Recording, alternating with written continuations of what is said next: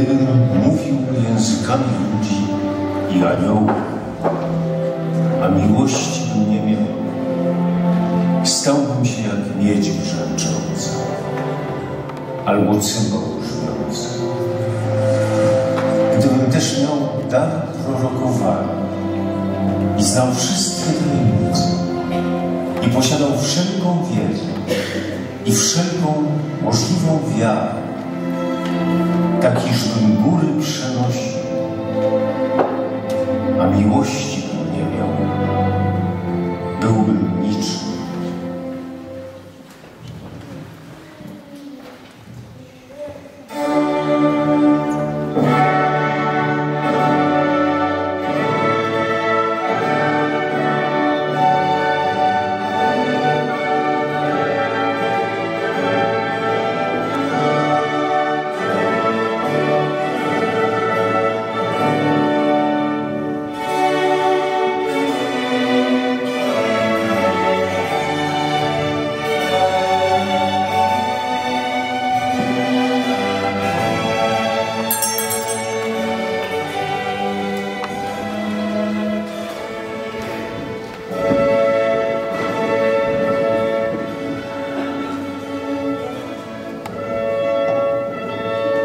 Co to jest?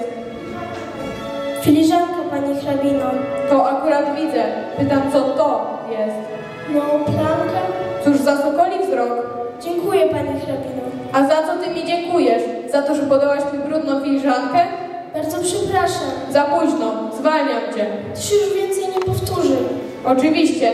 Skoro ci nie będzie, to z pewnością się nie powtórzy. Możesz odejść i się spakować. Proszę mnie nie wyrzucać.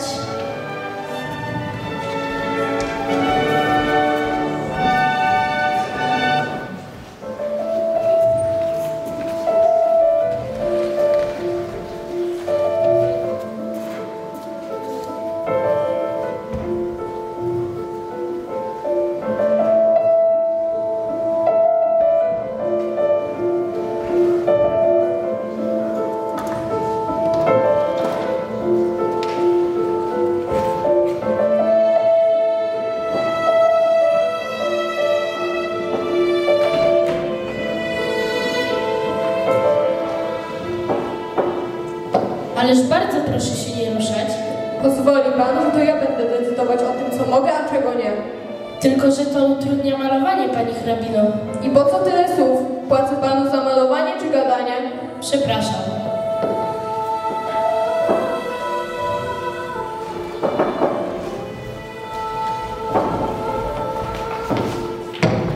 Jaśnie Pani hrabino, królowo moja, dobrodziejko, ja wiem, że nas wspomożesz. Serce masz przecież dobre, nie odrzucisz ludzi w potrzebie. O co chodzi? Mów. Od trzech dni nic nie jadłyśmy, dzieci głodne płaczą, święta zapasem, wspomóżcie nas Pani hrabino. Bardzo chętnie bym to uczyniła, lecz pan malarz zakazał mi się ruszać i niestety nie mogę nic zrobić. Nie, proszę się ruszyć, ja poczekam. Jak to? Przecież mówił pan, że kiedy się ruszam, utrudniam malowanie. No tak, ale teraz to inna sprawa. Zatem to było kłamstwo. Zwalniam pana. Ależ pani hrabino. Proszę wyjść, pokażę psami poszczuć. Nie, to nie. Mówicie, że burza zniszczyła wasze zbiory. Dokładnie. A czy to jest moja wina? Czy to ja wywołałam burzę? Czy przeze mnie głodujecie? Nie Pani hrabino. Zatem żegnam.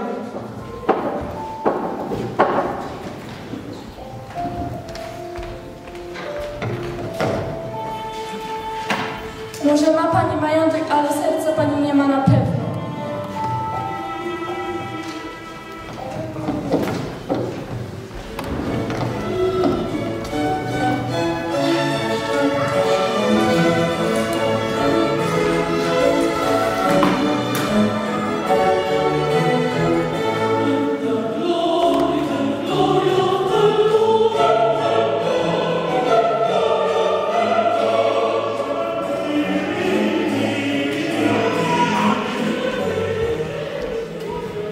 robisz?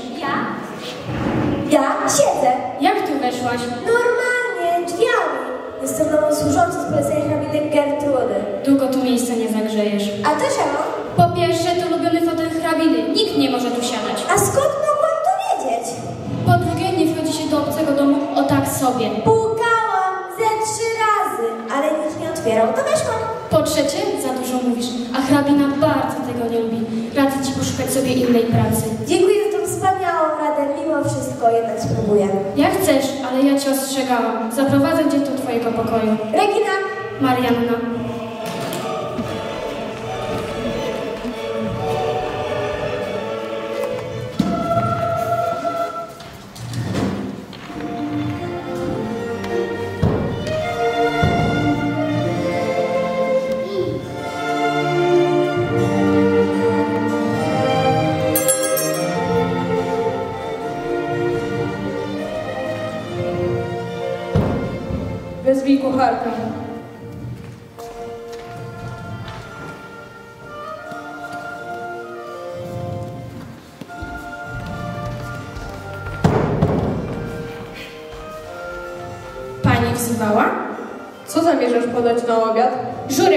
Hrabino. Słucham? Żurek z kiełbaską i jajeczkiem. Chcesz mnie otruć? Ależ pani hrabino, wszystko świeżutkie, aż palce lizać. Chcesz mnie otruć podając mi pospolity żurek? To dobre dla chłopstwa. A ja, jak możesz zauważyć, jestem z arystokracji. Skąd jaśnie pani jest? Nieważne. Dlaczego ja cię tu jeszcze trzymam? Chyba nie zwolni pani przez żurek. Ja ugotuję wszystko, czego sobie pani zażyczy. Tylko nie rób mi tu scen. To nie jest teatr. Przepraszam pani hrabino, ugotujemy zupę z homara. Dobrze, lecz wiedz, że jeśli nie będzie mi smakowała, będziemy się musiały pożegnać. Czy pozwoliłam ci odejść? Nie pani hrabino. Dlaczego więc odchodzisz? Przepraszam pani hrabino. Teraz już możesz odejść.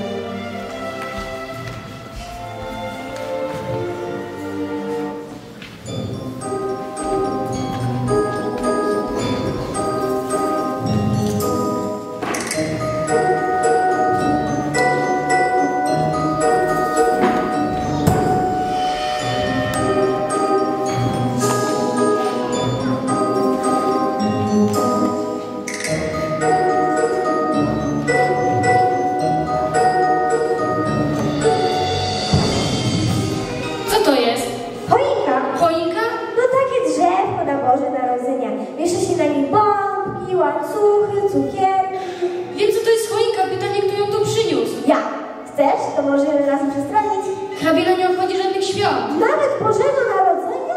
Przecież mówię. Ale dlaczego? Sama ją o to zapytaj, ale wtedy na pewno cię odprawi.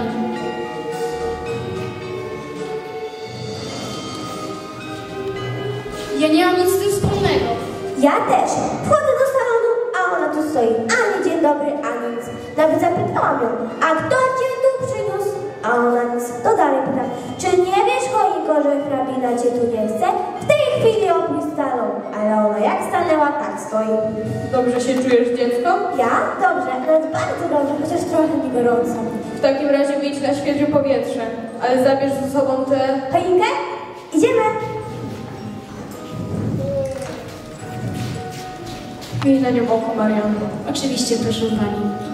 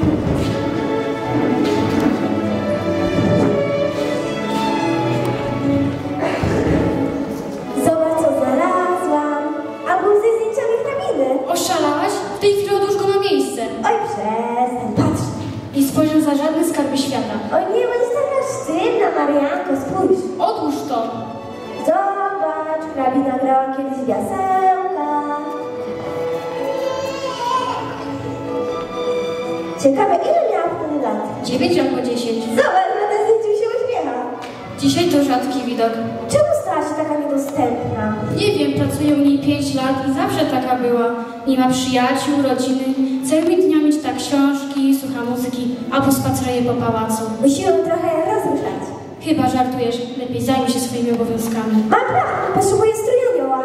Na stryku taki widziałam. Super, mamy to. Czuję, że będą z tego kłopoty.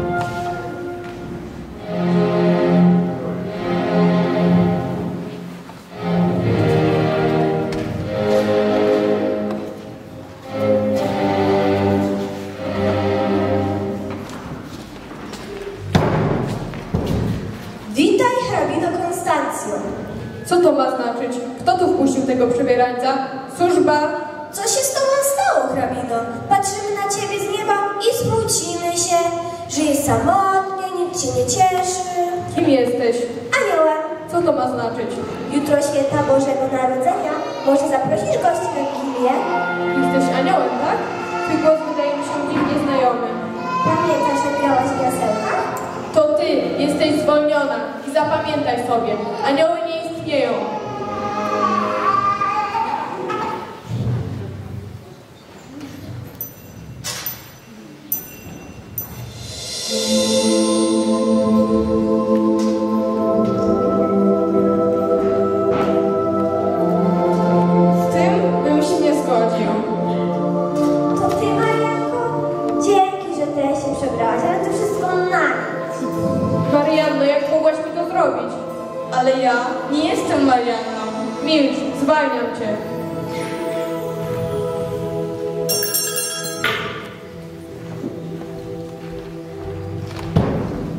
Pani wzywała? Jeżeli ty stoisz tu, to kto stoi tam? Anioł? Chociaż jedna wierząca. Usiądźcie proszę. Chcę wam coś pokazać. Mam tego dosyć. Wychodzę.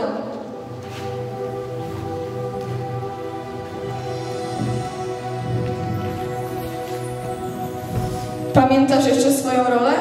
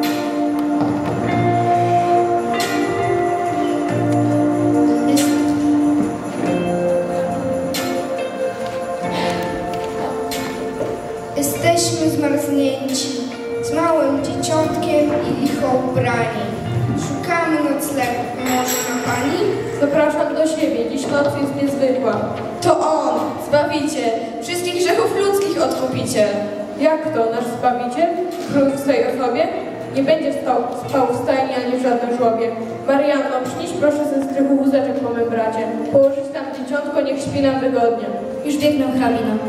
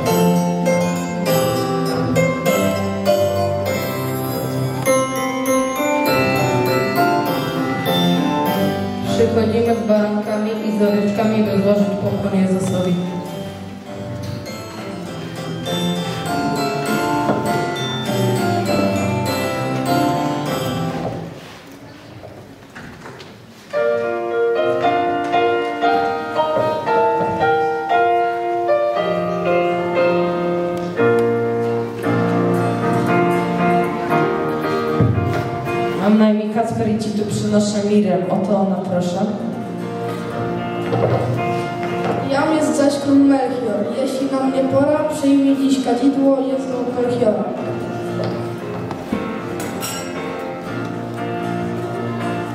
Złoto i koronę mam dla króla darze.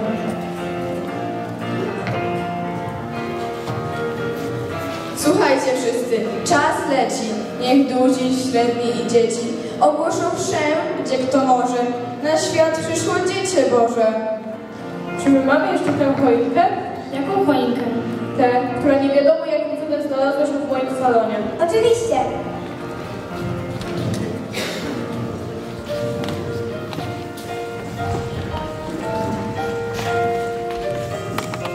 Chciałabym zaprosić kilku gości na Wigilię. To będzie Wigilia? Oczywiście, zwołajcie tu wszystkich tych, których skrzywdziłam. Pokojówkę, malarza, kucharkę całą rodzinę tej biednej kobiety, która przyszła prosić o pomoc, a ja ją wyrzuciłam. Dziś zrozumiałam, że biedny nie jest ten, który nie ma pieniędzy, tylko ten, który nie ma serca.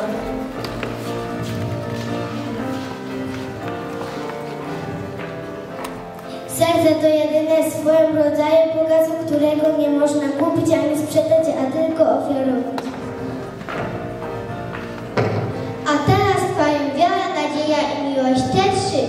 Najważniejsza zaś jest miłość.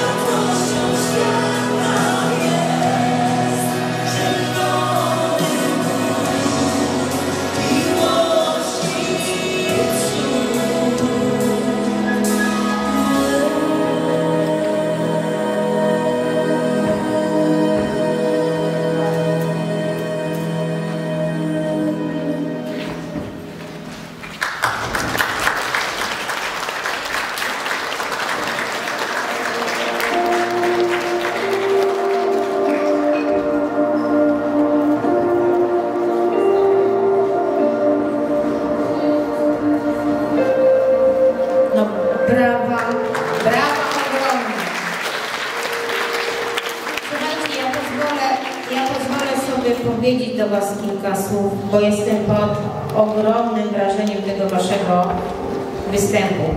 Chciałoby się rzec, chwilo, trwaj.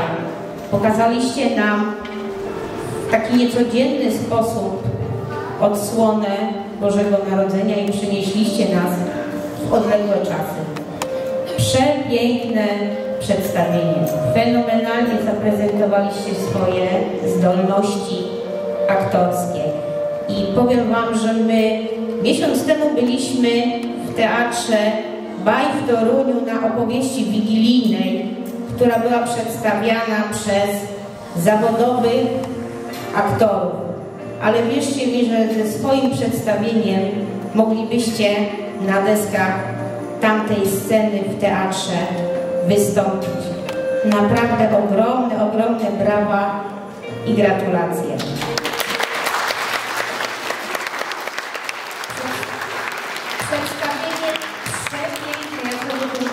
Pozwolę przeczytać, bo z, z ogromnie ważnym dla wszystkich przesłaniem, które padło na samym końcu, że serce to jedyne w swoim rodzaju bogactwo, którego nie można kupić ani sprzedać, a tylko ofiarować. A miłość wtedy się mnoży, gdy się nią dzieli.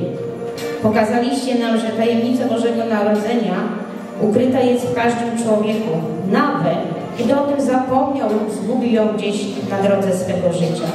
Bardzo Wam za to dziękuję i dziękuję również Paniom Ewo i Pani Marlence za tak wspaniałe przygotowanie tych młodych artystów i całą oprawę tego spektaklu. Bardzo, bardzo dziękuję.